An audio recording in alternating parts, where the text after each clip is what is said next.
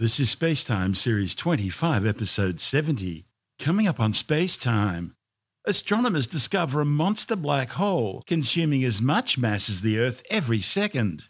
Discovery of a possible new fundamental particle. Could it be dark matter? And NASA says it's finally ready to launch its giant new Artemis 1 SLS moon rocket. All that and more coming up on Spacetime. Welcome to Space Time with Stuart Gary.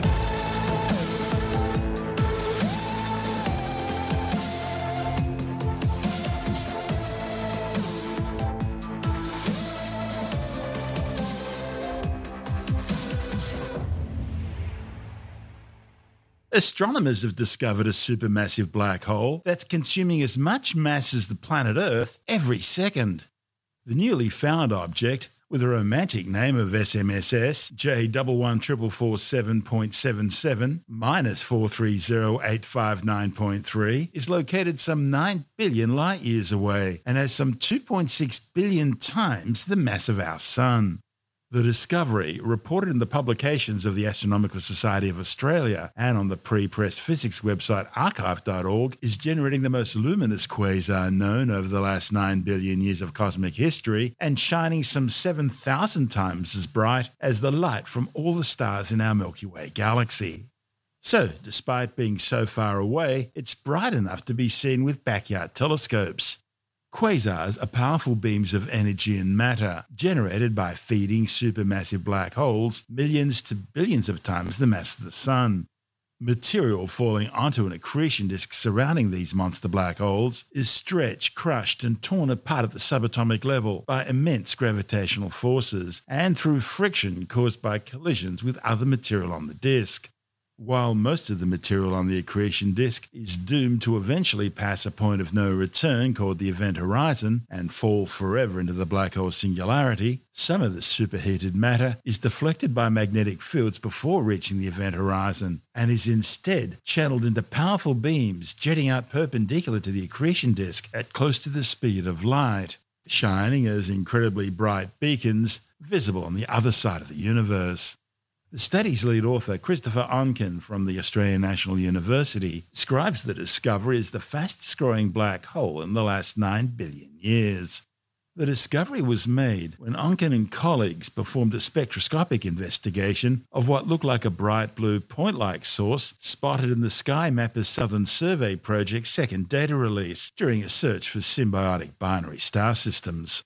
Onken says astronomers have been hunting for objects like this for more than 50 years.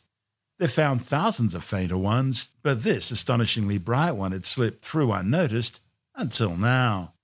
Now, astronomers want to know why this one's so different and whether something catastrophic happened. Perhaps two big galaxies have merged together, funneling a whole lot of material under the black hole to feed it. There was a student making use of our survey that we've been conducting over the past few years with the SkyMapper telescope, which is cataloging as many sources as we can see in the southern sky. And student was looking for pairs of close binary stars where they're so close they're actually transferring a bit of atmosphere from one star to the other.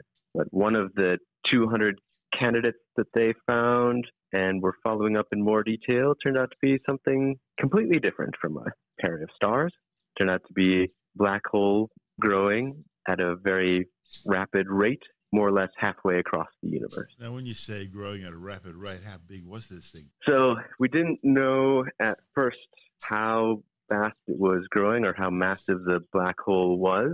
So we had to acquire some additional data, spectra from telescopes in Chile and from here in Australia. And what that showed was that the black hole has a mass of about 2.6 billion solar masses and is growing at a rate of about 80 solar masses per year, which works out to about an Earth mass every second. Now, you say growing, that means that there's a, must be a fair bit of energy X ray coming from that thing right now. In fact, it's the the most luminous growing supermassive black hole that we know of in the last nine billion years of cosmic history. What part of the sky is it in? Uh, it's in the constellation Centaurus, which is easily observable from the southern hemisphere here, a bit harder if you go to the north. And you use SkyMapper to find it. SkyMapper is part of the Siding Spring Observatory. That's right. How far back in space time is this object? So the light's been traveling to us for about 7 billion years. Literally halfway back. Wow. Yeah, and you have to go back to about 9 billion years before you find any black holes growing as rapidly as this one. And further back, you see many that are growing this fast. That was a time when the universe was much denser, it had, hadn't expanded as much, and there were many more galaxy collisions going on that we think can help feed these black holes with a lot of material for them to grow with.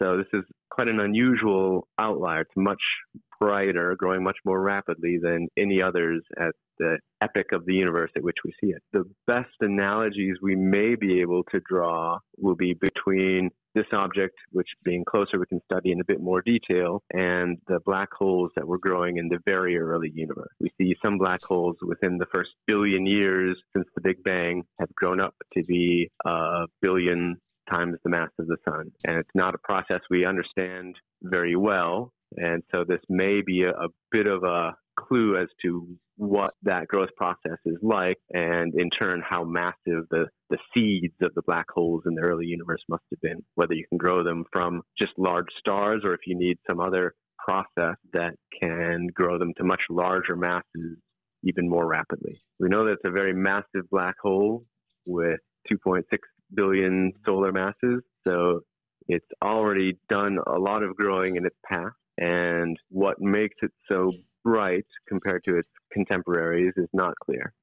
We hope we can study it in a bit more detail to figure out whether it's in a galaxy that's had a recent collision or to figure out perhaps if it's growing, if there's something about the black hole itself that allows it to shine much more rapidly. Black holes can have a spin, an intrinsic spin to them, and a rapidly spinning black hole can give off much more light from the material it's accreting than a black hole that's not spinning. Have you been able to work out its Schwarzschild radius? If it's a typical black hole, the Schwarzschild radius scales just with the mass of the black hole. So that puts the Schwarzschild radius about the size of the the planetary orbits in the solar system. So pretty much the orbits of all the major planets in the solar system would fit inside the event horizon of this black hole. So this thing's as big as Neptune's orbit around the sun. That's pretty cool. Yeah, and it's the material around it, whirlpool of superheated gas that's feeding the black hole, would probably extend from at least the sun to the nearest stars in the Milky Way. Wow, so 4.3 light years out. That's quite a monster you found. It is. You think it's alone? You think it's got friends? I think that could be a, a very interesting question to to probe with some of the facilities that people are hoping to launch into space over the coming decade. The LISA mission will use lasers in space bouncing between three different satellites to try to measure the merger process of black holes of this scale.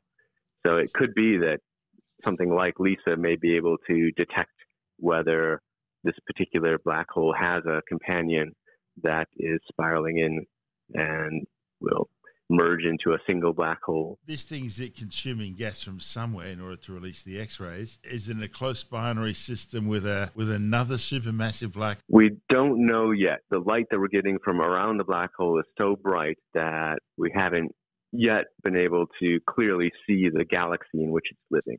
So we don't know if it's a galaxy that's had a recent collision or if it's some other process that's been able to feed a lot of mass down to the black hole from which it then can shine as it's falling through the event horizon. Do you know if Gaia was able to pick it up in the uh, in the latest survey? Uh, it is certainly a, a, Gaia source. That was one of the, the data sources that we used to try to tell whether it may be a source that's being gravitationally lensed and sort of artificially brightened by something in between. But we don't see any indication in the Gaia measurement for anything else around this supermassive black hole. Any spectra? We do have spectra from Gaia, which are relatively low spectral resolution, but the mass measurements that we have come from very high quality optical and near infrared spectra that we've acquired here on the ground. And of course, things like James Webb will be able to help you with that too, as well as Square Kilometre Array. Yeah, I think there's a, a lot more to find out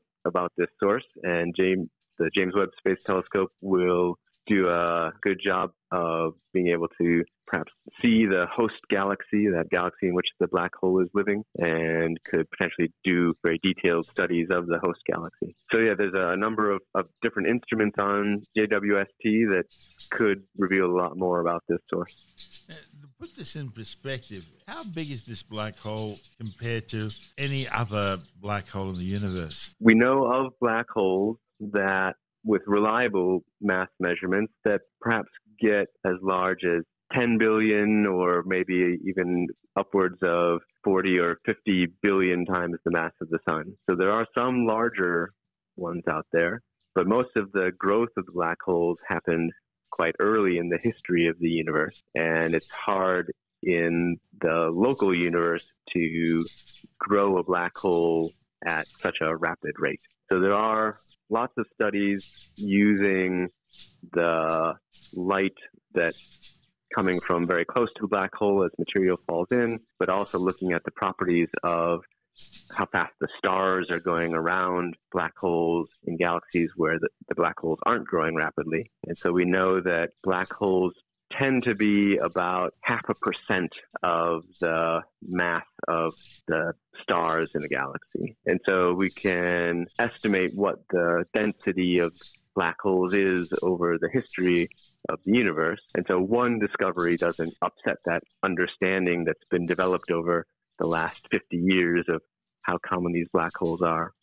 But it has pointed us to trying to figure out how many of these very luminous objects may have gone undiscovered. People have been searching for the supermassive black holes since it was first realized in the 1960s what they probably were. And this one we found is certainly bright enough to have been discovered back in the 1960s. There are photographs taken from an observatory in Peru in 1901 that very clearly show this black hole, but nobody had identified what it was until just now. I, mean, I think one of the interesting aspects is how something this bright, you know, black hole growing this rapidly could have escaped detection for so long. And the main reason is that it's just a little bit closer to the plane of the Milky Way, which is so full of stars that it's hard to pick out the background object that people had surveyed in the past down to maybe 20 degrees away from the plane of the galaxy. But this object just sits at 18 degrees away from the plane of the Milky Way. So it had just been outside the areas in which people had looked before. Other groups have used ultraviolet satellites like GALEX to look for these very bright sources. And it just so happened that this particular object fell in a little gap in the GALEX sky coverage. So, so it was there hiding in plain sight. It was, and the the bad luck for those previous surveys has turned into our good fortune. That's Dr. Christopher Onken from the Australian National University, and this is Space Time. Still to come, growing evidence today of a new, yet to be confirmed fundamental particle in physics. And NASA says it's ready to launch its giant new Artemis 1 SLS moon rocket. All that and more still to come on Space Time.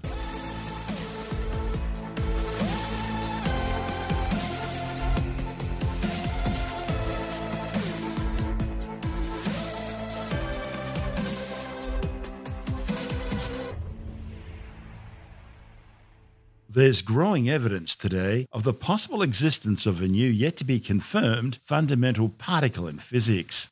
The unexplained anomaly, which has been seen in previous experiments, may be pointing to an as yet unconfirmed hypothetical particle known as a sterile neutrino, which itself could be a candidate for dark matter. Dark matter is a mysterious invisible force making up more than 80% of all the matter in the universe.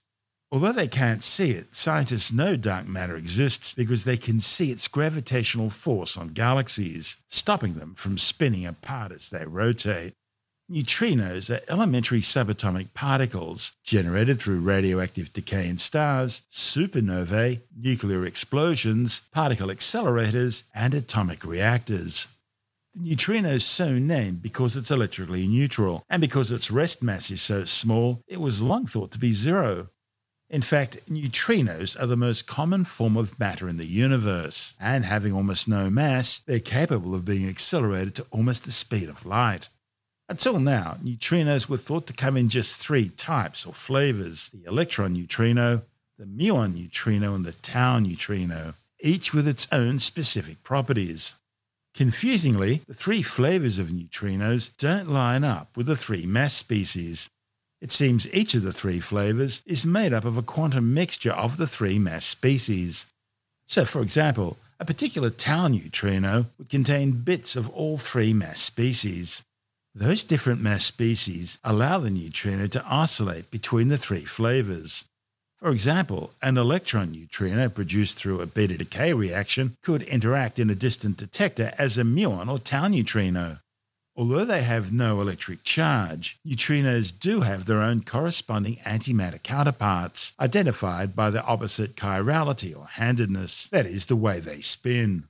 Neutrinos interact with other matter only through gravity and the weak nuclear force. In fact, they're so weakly interactive with other matter that several trillion of them are passing through you right now without you even noticing them. The idea of this anomaly being the long hypothesized sterile neutrino is exciting. But if it's not a sterile neutrino, that could be even more exciting, because it would mean the need for a new interpretation of an aspect of the standard model of particle physics, the foundation stone for our understanding of the universe. For example, maybe there's something wrong with the neutrino cross section, first measured 60 years ago. The new findings by the Baksan experiment on sterile transitions or BEST experiment have been reported in the journals Physical Review Letters and Physical Review C. One of the study's authors, Steve Elliott from the Los Alamos National Laboratory, says the results are incredibly exciting and reaffirms the anomaly seen in previous experiments. But he says what that exactly means isn't obvious there are now conflicting results about sterile neutrinos.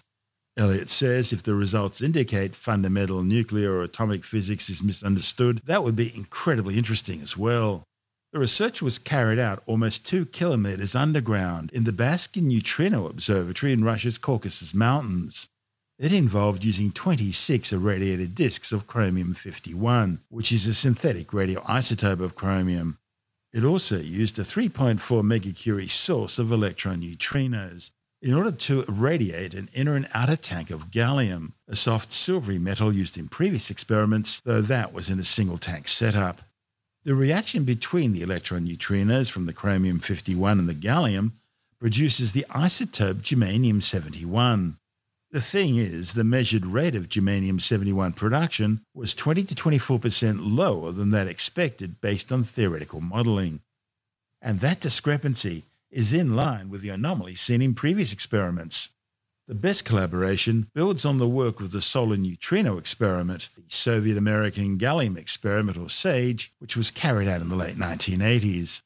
That experiment also used gallium and high intensity neutrino sources. The results of that experiment and others indicated a deficit in electron neutrinos, a discrepancy between the predicted and actual results, which has become known as the gallium anomaly. An interpretation of that deficit was thought to be evidence of possible oscillations between electron neutrino and sterile neutrino states. And this same anomaly has now reoccurred in the BEST experiment. And the best possible explanations again include the idea of oscillations into a sterile neutrino. That interpretation may need further testing, though, because the measurement for each tank was roughly the same, though lower than expected. Other possible explanations for the anomaly include the possibility of a misunderstanding in the theoretical inputs of the experiment that the physics itself requires reworking. Elliott points out that the cross section of the electron neutrinos never been measured at these energies, for example, a theoretical input to measuring the cross section, which is difficult to confirm, is the electron density at the atomic nucleus. It's important to point out that the experiment's methodology was thoroughly reviewed in order to ensure no errors were made in aspects of the research, such as radio source placement or counting system operations. Further iterations of the experiment may include a different radiation source with higher energies, a longer half life, and sensitive to shorter oscillation wavelengths. We'll keep you informed. This is Space Time. Still to come. NASA says it's ready to launch its giant new Artemis 1 SLS moon rocket. And later in the science report, Google rejects claims that its LaMDA artificial intelligence program has become sentient or self aware. In other words, has an electronic neural net developed consciousness. All that and more still to come on Space Time.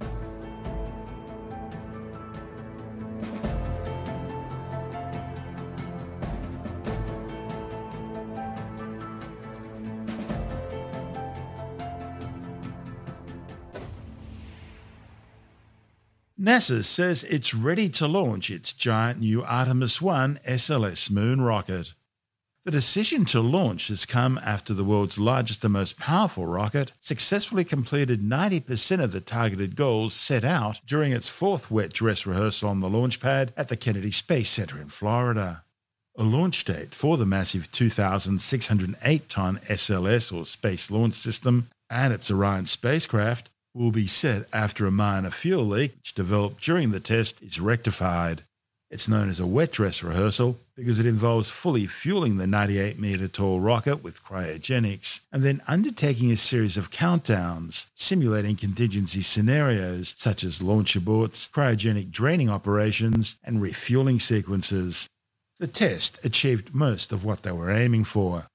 However, while issues from three earlier wet dress rehearsals back in April with ground equipment on the launch pad, including a valve, fueling systems, and leak issues, appear to have been resolved, three new issues are under evaluation, including a small grass fire which broke out at the hydrogen flare stack at Space Launch Complex 39B, as well as a possible hydrogen leak in a quick disconnect on the SLS core stage.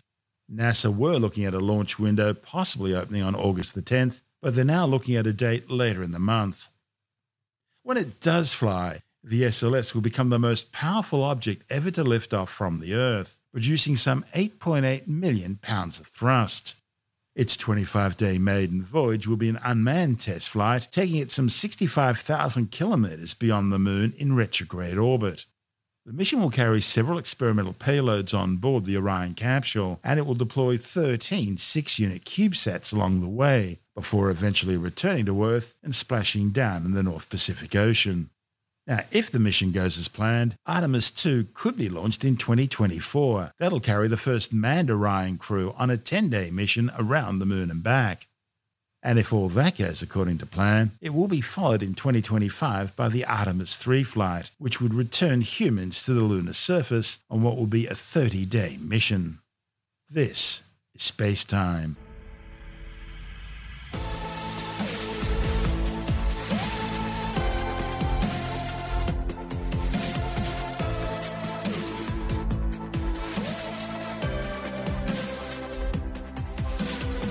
And that's the show for now. Spacetime is available every Monday, Wednesday, and Friday through Apple Podcasts, iTunes, Stitcher, Google Podcast, Pocket Casts, Spotify, Acast, Amazon Music, Bitesz.com, SoundCloud, YouTube, your favorite podcast download provider, and from spacetimewithstuartgary.com. Spacetime's also broadcast through the National Science Foundation on Science Zone Radio and on both iHeartRadio and TuneIn Radio and you can help to support our show by visiting the Spacetime store for a range of promotional merchandising goodies. Or by becoming a Spacetime patron, which gives you access to triple episode commercial free versions of the show, as well as lots of bonus audio content which doesn't go to air, access to our exclusive Facebook group, and other rewards. Just go to spacetimewithstuartgary.com for full details. And if you want more space time, please check out our blog where you'll find all the stuff we couldn't fit in the show, as well as heaps of images, news stories, loads of videos, and things on the web I find interesting or amusing. Just go to spacetimewithstuartgary.tumblr.com. That's all one word, and that's Tumblr without the E. You can also follow us through at Stuart Gary on Twitter, at Spacetime with Stuart Gary on Instagram, through our Spacetime YouTube channel. And on Facebook, just go to facebook.com forward slash spacetime with Stuart Gary. And Spacetime is brought to you in collaboration with Australian Sky and Telescope magazine, your window on the universe. You've been listening to Space Time with Stuart Gary. This has been another quality podcast production from Bitesz.com.